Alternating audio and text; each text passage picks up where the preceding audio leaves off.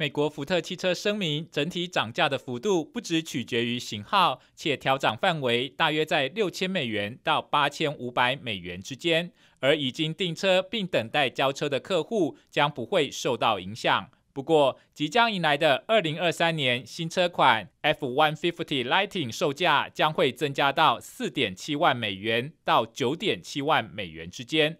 值得一提的是，福特并不是第一家提高电动车售价的汽车制造商。在此之前，通用汽车已经率先调涨电动悍马售价，多增加六千两百五十美元。还有特斯拉、Rivian 以及 Lucid 也都做出调涨。